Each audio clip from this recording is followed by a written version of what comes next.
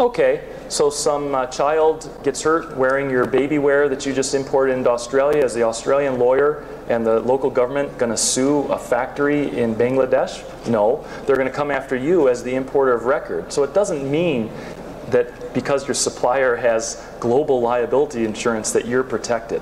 Now as a small, if you're just getting started, you know, what do you have to lose? So do you spend a couple points on insurance or not? That's your decision. But after you're in stable business, you've got real assets that you want to protect, you know, keep in mind, you're the one that's going to be on the hook if your supplier makes a mistake in terms of um, product safety compliance. So we did a whole hour and a half on this subject last year, and if you type in my name and YouTube and regulatory compliance, you can find all those seminars. So I want to make sure we have enough time for Q&A, so I'm going to uh, jump to a couple things.